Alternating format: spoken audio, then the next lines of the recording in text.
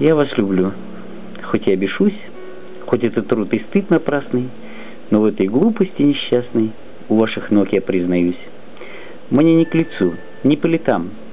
Пора, пора мне быть умнее. Но узнаю по всем приметам болезнь любви в душе моей. Без вас мне скучно, я зеваю, при вас мне грустно, я терплю, и мощи нет сказать желаю, мой ангел, как я вас люблю. Когда я слышу из гостиной ваш легкий шаг или платье шум, или голос девственный невинный, я вдруг теряю весь свой ум. Вы улыбнетесь мне отрада, вы отвернетесь мне тоска. За день мучений награда мне ваша бледная рука. Когда за пяльцами прилежно, сидите вы, склонясь небрежно, глаза и кудри опустя, я в умилении молча нежно любуюсь вами, как дитя.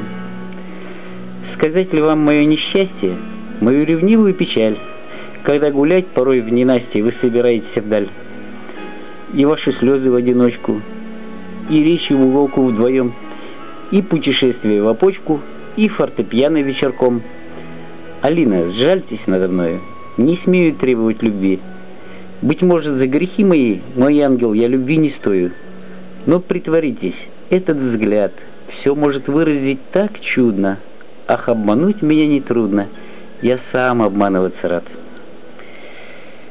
Э, так, ну что ж, это было стихотворение Пушкина «Признание».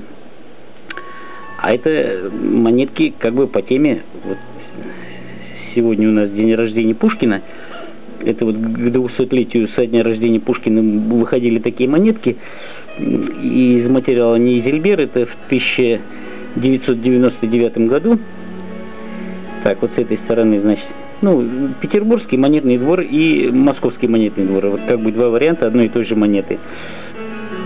Так, а вот в далеком 1984 году вот такая вот здоровенная большая монета тоже выходила, посвященная Александру Сергеевичу. Так, вот, и вот как бы, и как бы вот такой вот, вот такой праздник.